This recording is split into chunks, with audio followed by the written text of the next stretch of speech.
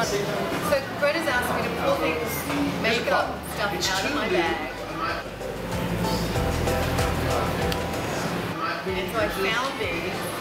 And this is one of my favorite things. It's pretty new actually. Um, it's called ba Bail. And I guess that's Portuguese for baby. It's like spotting stuff.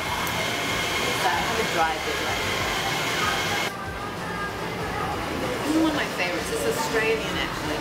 Um, it's organic um, and it's pawpaw uh, and honey. And this is so good that you can actually put it on burns and it heals burns. So that's how intense and healing it is. This one, oh, True Moringa. This is amazing. This is like a little lip tint, but it's all moringa oil. Like I've had this for like over a year. Um, and it's just lovely like color, a little bit of color, but moringa oil is so moisturizing. It's beautiful. Fairy Organics is one of my favorites. And this is a lovely, they have so many different shades of uh, lip balms. And I just, this is one I use on myself a lot. Um, it's a spring, summer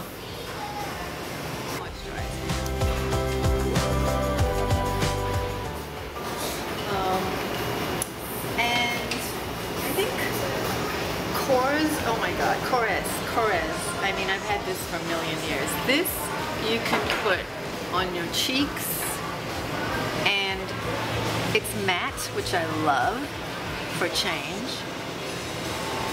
And you can put that on your cheeks. You can use it as an eyeshadow, you can use it as a lip balm.